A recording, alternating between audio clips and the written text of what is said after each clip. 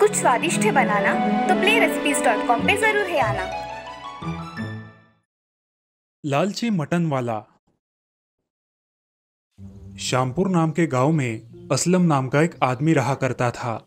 उसका गाँव में मटन का दुकान था। असलम घर में अपनी माँ के साथ रहा करता था। उसने घर में बहुत सारी बकरियाँ पाल के रखी थी। जिनकी देखभाल उसकी माँ करती थी। असलम का धंधा बहुत अच्छा चल रहा था और उसी कारण से उसके मन में अब लालच आ गया था। वो ग्राहकों के साथ अच्छी तरह से व्यवहार भी नहीं कर रहा था। ऐसे ही एक दिन उसके दुकान पर एक बूढ़ा आदमी आया। अरे असलम मुझे एक किलो मटन चाहिए था बेटा। अरे चाचा आप ले जाइए। आपका ही तो दुकान है। अरे बेटा मेरे घर मेहमान आने वाले हैं इसलिए मुझे एक किलो मटन चाहिए था। मगर मेरे पास पैसे नहीं है, बेटा। चाचा, मैं पैसों के बिना कोई काम नहीं करता। आपको तो पता ही है ना? हाँ बेटा, मुझे पता है। मगर मेरे पास अभी पैसे नहीं है। मैं कल या परसों तुम्हें दे दूँगा। चाचा, मैं तुम पे विश्वास कैसे कर लू? बेटा, तुम्हारा मुझ पर विश्वास नहीं है तो ये लो। ये मेरे हाथ की अंगूठी तुम्हारे पास रख लो। जब तक मैं तुमको पैसे वापस नहीं करूँगा, तब तक ये अंगूठी तुम तुम्हारे पास ही रखो। ठीक है चाचा। ये लो आपका मटन। जब तक आप पैसे नहीं लाएँगे आपकी ये अंगूठी मेरे पास रहेगी। हाँ बेटा। बूढ़ा आदमी वहाँ से चला जाता है। असलम हर रोज किसी ना किसी को अपनी दुकान में कम मटन देकर उसे फंसाता था। उसका धंधा बहुत अच्छे से चलने लगा था। ऐसे ही एक दिन उसकी दुकान पर एक छोटा लड़का आया। चाचा मेरी माँ ने मुझे आपके यहाँ से एक किलो मटन लाने भेजा है। अभी देता हूँ।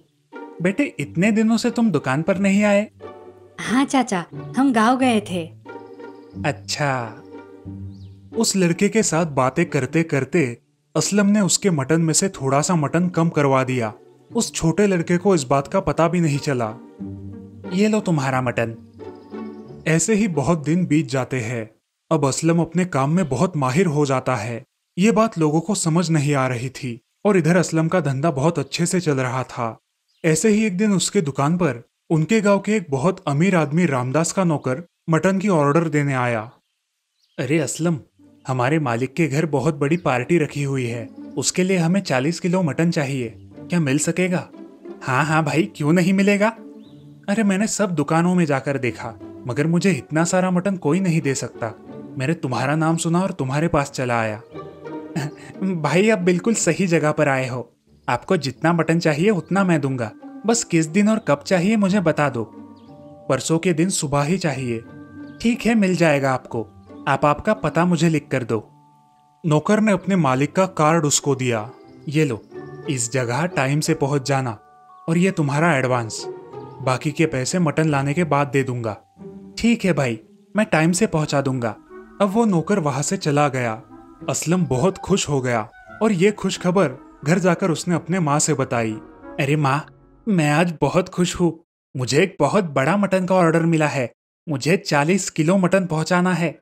ये तो बहुत अच्छी बात है। अब तैयारी में लग जाओ।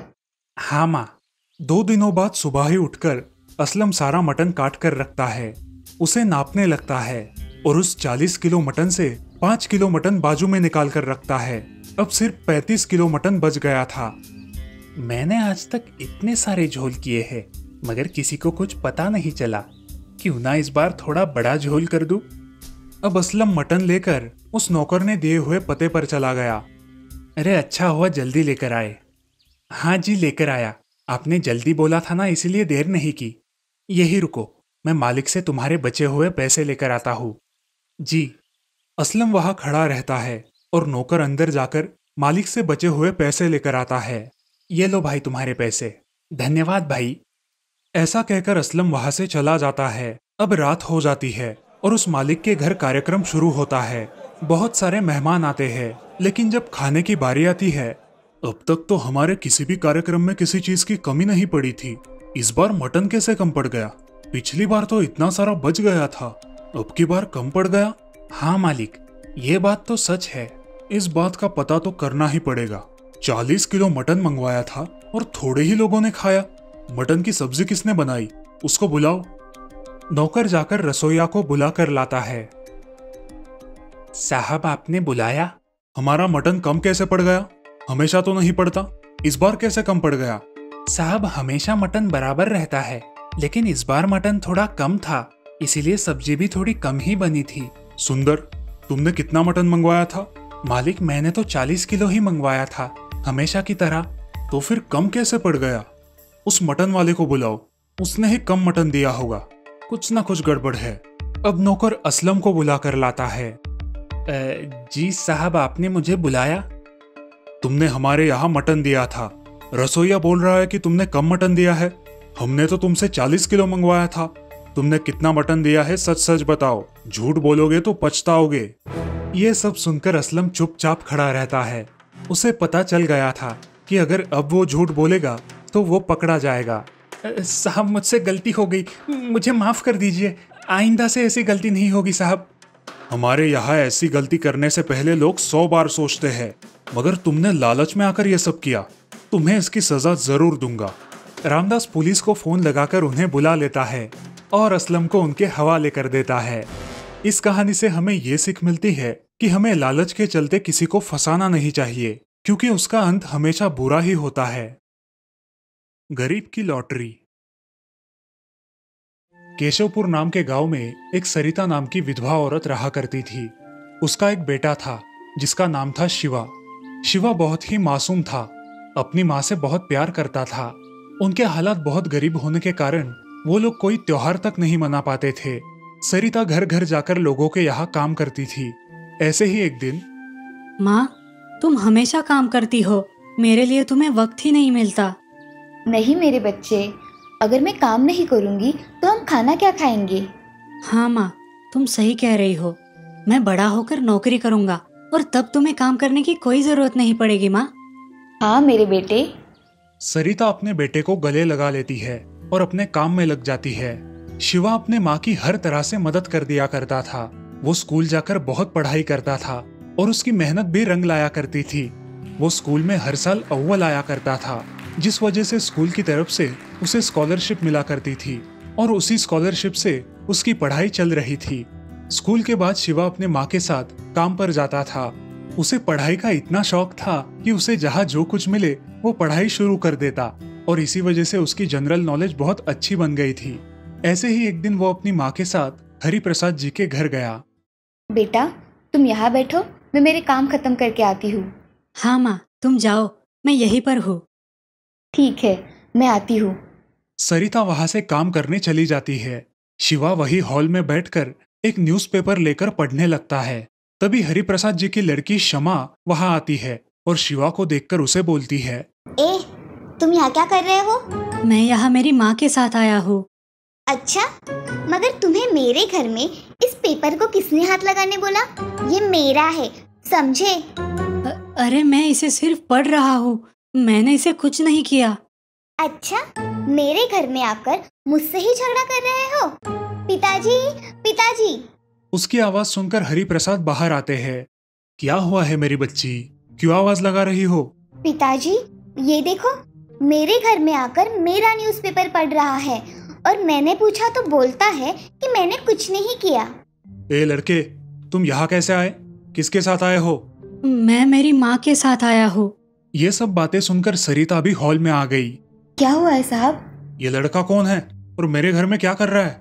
जी साहब ये मेरा बेटा है और ये घर पे अकेला था इसीलिए मैं इसे साथ लेकर आई। माँ मैं सिर्फ़ ये न्यूज़पेपर पढ़ रहा था। मैंने कुछ नहीं किया माँ। शिवा सरिता के पास जाकर खड़ा हो गया। जी मेरा लड़का आज के बाद कभी भी आपके यहाँ न्यूज़पेपर नहीं पढ़ेगा। यही उसके लिए ठीक होगा। सरिता अपने बेटे शिवा को लेकर वहाँ से चली जाती है। कुछ दिनों बाद शिवा के स्कूल में रिज़ल्ट आता है। उनकी पांचवी कक्षा में शिवा अव्वल आया था और हरिप्रसाद की बेटी तीसरे नंबर से पास हुई थी। उसी दिन सरिता अपने बेटे को लेकर हरिप्रसाद के घर काम करने गई। बेटा इधर किसी भी चीज़ को हाथ नहीं लगाना। आज मैं जल्दी काम खत्म करके आऊँगी ठीक है? हाँ माँ मैं किसी भी चीज़ को हाथ नहीं लगाऊँगा। मैं काम खत्म करके आती हूँ। ऐसा कहकर सरिता वहाँ से चली गई। शिवा चुपचाप वहाँ एक कोने में खड़ा रहा। कुछ देर बाद शमा के कुछ दोस्त उसके घर आए। सब लोग हँसी मज़ाक करने लगे और शमा का स्कूल में तीसरा नंबर आने की वजह से शमा ने एक केक काटा। आओ दोस्तों चलो मिलकर हम केक कट करते हैं। शमा और उसके सारे दोस्त केक खाने लगे। कोने में खड़ा शिवा ये सब देख रहा था। तभी उसकी माँ काम खत्म करके वहाँ आई। चले बेटा घर बहुत देर हो रही है। माँ मुझे भी केक चाहिए। चलो बेटा ये केक हमारे लिए नहीं है। मगर माँ उन्होंने तो वो केक कुत्ते को भी खिलाया मगर मुझे एक टुकड़ा भी नहीं दिया। नहीं मेरे बच्चे जब मेरे पास पैसे आ जाएँगे तब मैं खुद मेरे बच्चे को केक खरीद कर दूँगी। सच में माँ? हाँ मेरे बेटे चलो अब घर। हाँ माँ। अब शिवा और सरिता घर जाने के लिए निकलते हैं। घर जाते जाते रास्ते में एक छोटा बच्चा सरिता के पास आता है और उसे कहता है माँ जी आप एक लॉटरी का टिकट ले लीजिए ना। सिर्फ़ एक रुपए का है। ले लीजिए ना। माँ ले लो ना लॉटरी का टिकट। ठीक है दे दो। सरिता उस बच्चे को एक रुपया देकर उससे वो टिकट खरीद लेती है और शिवा और सरिता घर जाते हैं। घर जाकर सरिता उस टिकट को भगवान के सामने रखती है और घर के काम करने लग जाती है। शिवा मन ही मन भगवान से प्रार्थना करता है। हे भगवान तुम हमेशा सबकी सुनते हो। आज मेरी भी सुन लो। मुझे ये लॉटरी का टिकट लगने दो। दूसरे दिन सरिता अपने घर के काम खत्म करके शिवा को लेकर फिर से हरिप्रसाद के घर जाती है। उस दिन भी शिवा की नज़र एक न्यूज़पेपर पर पड़ती है लेकिन उसे पिछली बार का किस्सा याद था इसीलिए वो चुपचाप एक कोने में खड़ा हो गया। तभी हरिप्रसाद की बेटी शमा वहाँ आई और उससे कहा ए शिवा इधर आओ। मेरे ये खिलौने भरकर एक जगह रख दो। आया। अरे कितना टाइम लगाते हो? शमा सोफे पे बैठकर न्यूज़पेपर पढ़ने लगी। तभी उसकी नज़र एक लॉटरी के टिकट पर गई और उसने अपने पिताजी से कहा पिताजी मैंने आपसे कहा था ना कि कल एक लॉटरी का टिकट ले लो मगर आपने नहीं लिया। देखो one one two two three number को लॉटरी लगी है पिताजी। अच्छा बाबा कल लेकर दूँगा ठीक है? जी पिताजी। ऐसा कहकर शमा न्यूज़पेपर पढ़ने में व्यस्त हो गई। तभी शिवा ने अपने साथ लाया वो लॉटरी का टिकट निकाला और उस पर जो नंबर था वो देखा और उसे वही नंबर दिखाई दिया जो उस न्यूज़पेपर में था। उसने तुरंत अपनी माँ को आवाज़ लगाई। माँ माँ जल्दी इधर आओ। शिवा की आवाज़ सुनकर सरिता जल्दी जल्दी बाहर आ गई। उसने शिवा के हाथ में वो लॉटरी का टिकट देखा और कहा अरे क्या हुआ है शिवा? ऐसे आवाज़ क्यों दी बेटा? अरे माँ हमें लॉटरी का टिकट लगा है। अब तुम्हें काम करने की कोई ज़रूरत नहीं। क्या शिवा ये सच है? हाँ माँ ये सच है। और अब हमें किसी अमीरों के यहाँ नौकरी भी नहीं करनी पड़ेगी। चलो माँ यहाँ से। हाँ चलो। सेठ जी मैं आती हूँ।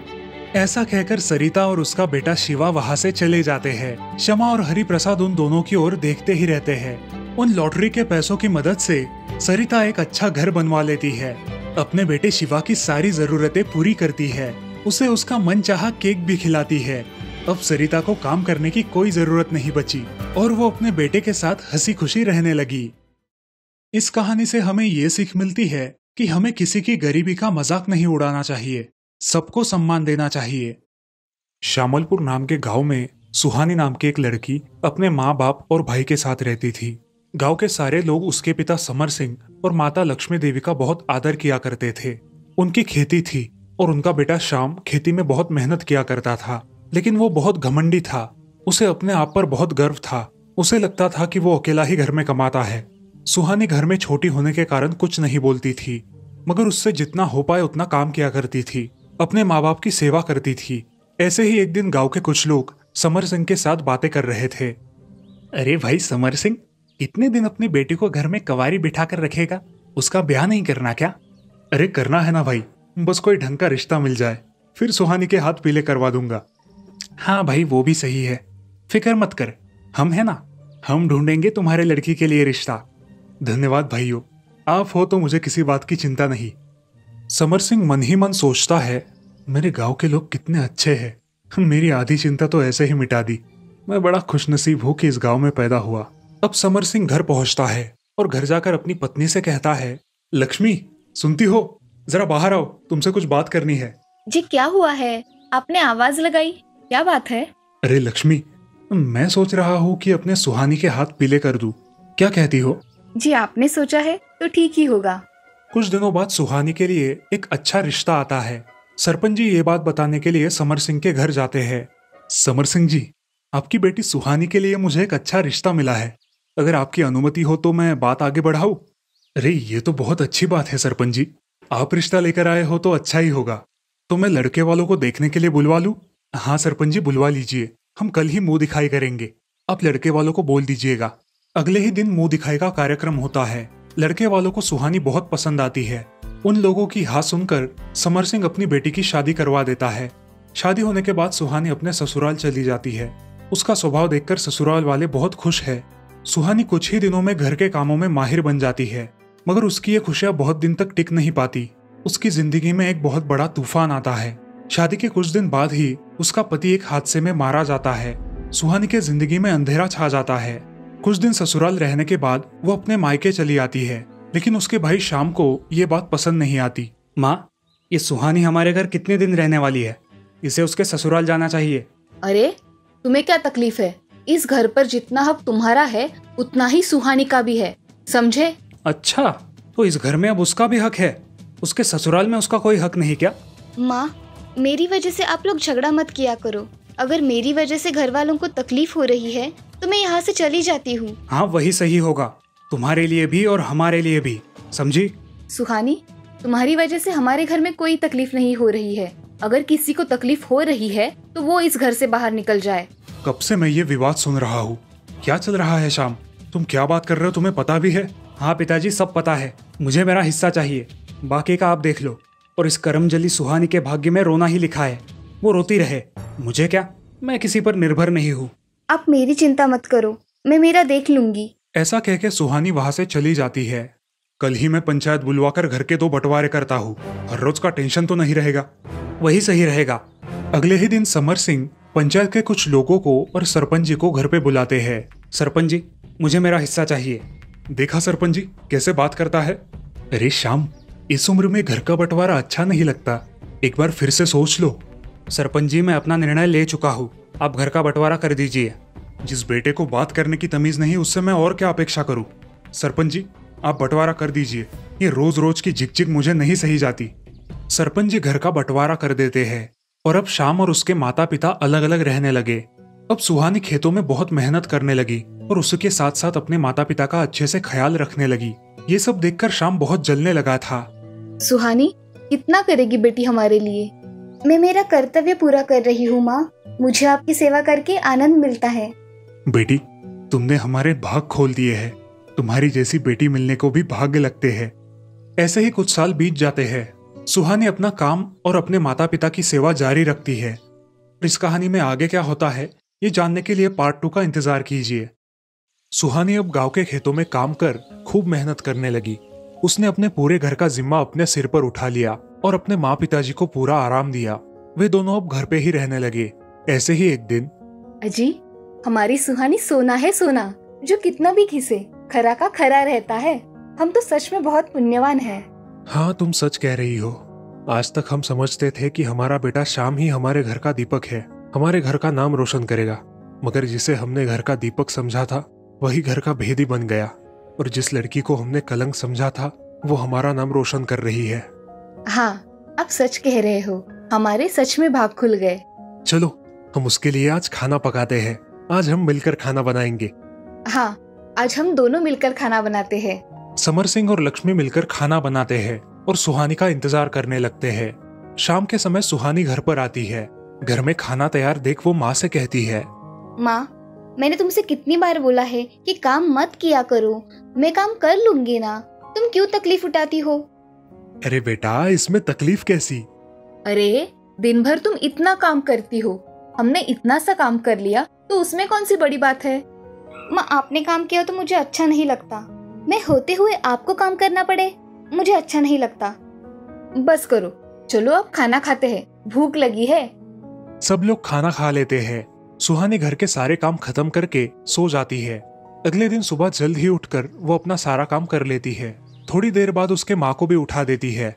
उसके बाद वो अपने पिताजी को उठाने के लिए उनके पास गई। पिताजी सुबह हो गई है। आपको उठना नहीं है क्या? अरे हाँ उठना चाहता हूँ। मगर आज बहुत थकान लग रही है। बुखार भी है थोड़ा।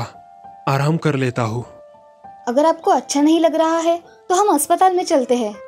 आज आराम करके देखता हूँ। बाद में देखेंगे। तुम जाओ अपने काम पर जाओ। माँ अगर कुछ ज़्यादा लगा तो मुझे बुला लेना। अब मैं चलती हूँ। अरे तुम जाओ बेटा। मेरी चिंता मत करो। हाँ बेटी तुम जाओ। मैं हूँ यहाँ पे। अगर कुछ लगा तो बुलावा भेज दूँगी। ठीक है? जी ठीक है मैं चलती हूँ। सुहानी घर से काम के लिए निकल गई लेकिन यहाँ समर सिंह का बुखार उतरने का नाम ही नहीं ले रहा। लक्ष्मी ने एक बच्चे को सुहानी को घर बुलाने के लिए भेजा। सुहानी दीदी काका को बहुत तेज बुखार आया है। तुम्हें घर पर बुलाया है। अच्छा तुम चलो मैं आती हूँ। ये बात सुनकर सुहानी दौड़ी दौड़ी घर चली आती है। घर आकर अपने पिताजी की हालत देखकर वो वहाँ से सीधे सरपंच जी के पास चली जाती है। सरपंच काका मुझे आपसे जरा काम है। हाँ बोलो सुहानी बेटी क्या बात है? काका पिताजी को बहुत तेज बुखार है। आप मेरे साथ घर चलिए हम उन्हें अच्छे अस्पताल में लेकर जाएँगे। ठीक है ठीक है। चलो बेटी सरपंच जी सुहानी के साथ उसके घर आते हैं। अरे सुहानी इनका बदन तो बहुत गर्म है। हमें इन्हें अस्पताल लेकर जाना पड़ेगा। सरपंच जी गाँव में फ़ोन करके गाड़ी बुलवा लेते हैं और समर सिंह को अस्पताल लेकर जाते हैं। सुहानी भी उनके साथ चली जाती है। अस्पताल में डॉक्टर समर सिंह को देखते हैं। इनको मैं कुछ दवाइयाँ लिख के देता हूँ। उनसे इन्हें आराम पड़ जाएगा। अब आप इन्हें घर पे लेकर जाओ। धन्यवाद डॉक्टर साहब। सुहानी उसके पिताजी और सरपंच जी के साथ घर आती है। सुहानी अपने पिताजी को खाना खिलाकर दवाइयाँ देती है। एक दो दिन ऐसे ही निकल जाते हैं मगर समर सिंह पर उन दवाइयों का कोई असर नहीं होता। सुहानी फिर एक बार डॉक्टर को घर बुलाती है। डॉक्टर साहब इनकी तबीयत में सुधार क्यों नहीं आ रहा है? जी इन पे अब दवाइयों का कोई असर नहीं हो रहा। अब आप इन पर ज़्यादा खर्चा मत कीजिए। इनकी उम्र हो गई है। इन पर दवाइयों का ज़्यादा असर नहीं होगा। डॉक्टर साहब आप ऐसा बोलोगे तो कैसे होगा? मैं वही बोल रहा हूँ जो समर सिंह जी का शरीर बता रहा है। ये बात सुनकर लक्ष्मी रोने लगती है। डॉक्टर वहाँ से चले जाते हैं और अब सुहानी बहुत सोच में पड़ जाती है मगर उसे उसका फ़र्ज़ निभाना था। वो थोड़े थोड़े करके पैसे जमा करने लगी। समर सिंह की तबीयत में कोई सुधार नहीं आया। ऐसे ही एक दिन उनकी हालत बहुत खराब हो गई। सुहानी बेटा सरपंच जी को बुला कर लाओ। जी पिताजी अभी बुला कर लाती हूँ। सुहानी सरपंच जी को अपने घर ले आती है। अरे बोलो ना समर सिंह तुमने बुलाया? सरपंच जी मेरे जाने के बाद मेरे परिवार की ज़िम्मेदारी आपकी है। मेरी सुहानी का ख्याल रखना। अरे सुहानी तो मेरी भी बिटिया है। जब तक मुझमें जान है तब तक मैं उसका ध्यान रखूँगा। तू चिंता मत कर। सरपंच जी की ये बात सुनकर समर सिंह अपनी आँखें बंद कर लेते हैं। वो भी हमेशा के लिए। सुहानी और लक्ष्मी ज़ोर ज़ोर से रोने लगती है। सुहानी अपने भाई को बुलाने के लिए उनके पुराने घर जाती है। भैया जो भी हुआ वो छोड़ दो। पिताजी का देहांत हो गया है। अब घर चलो। वो तो मेरे लिए बंटवारे के दिन ही मर गए थे। अपने भाई की ये बात सुनकर सुहानी चुपचाप अपने घर वापस लौट आई। उसने अकेले ही अपने पिताजी का सारा विधि किया। पिता के जाने के बाद सुहानी बहुत अकेली पड़ गई। धीरे धीरे उसकी माँ लक्ष्मी भी बीमार होने लगी। वो खाना भी नहीं खा रही थी। ऐसे ही एक दिन सुहानी ने अपनी माँ से कहा अरे माँ खाना तो अच्छी तरह से खाया करो नहीं तो और बीमार पड़ जाओगी। अरे और जीकर करना भी क्या है? तुम्हें देख के ही जी रही हूँ। ऐसे ही कुछ दिन बीत गए। एक दिन सुबह सुहानी उठकर काम करने में जुट गई और काम खत्म करने के बाद अपने माँ को उठाने के लिए गई। लेकिन उसकी माँ दुनिया से चल बसी थी। माँ माँ। सुहानी ने सरपंच जी की मदद से अपनी माँ का अंतिम विधि किया। ऐसे ही कुछ दिन बीत गए और एक दिन सरपंच जी आपने मेरी माँ और पिताजी के जाने के बाद जो भी खर्चा किया उसकी मैं देनदार हूँ। आप मुझे बताइए कि कितना खर्चा हुआ है? अ, बेटी कुल मिलाकर लगभग पाँच हज़ार हुए होंगे। ठीक है मैं आपकी पाई पाई चुका दूँगी। सुहानी सरपंच जी के पैसे चुकाने के लिए दिन रात मेहनत करने लगी। अंत में जैसे तैसे करके उसने पाँच हज़ार रूपए जमा कर लिए। वो पैसे लेकर वो सरपंच जी के पास आई। सरपंच जी आज से मैं आपके पैसों के ऋण से मुक्त हो जाऊँगी। हाँ सुहानी। अ, सुहानी बेटी एक बात मानोगी मेरी? बताइए ना पिताजी जाने के बाद मैंने आपकी कोई बात टाली है जो अब ना मानूँगी? मेरे भाई का लड़का है बहुत होनहार और बहुत काबिल है। मेरी इच्छा है कि तुम उसके साथ शादी कर लो। ऐसे कितने दिन अकेले रहोगी? जी आप मेरे पिताजी के समान हैं। आपने जो भी निर्णय लिया होगा मेरे अच्छे के लिए ही होगा।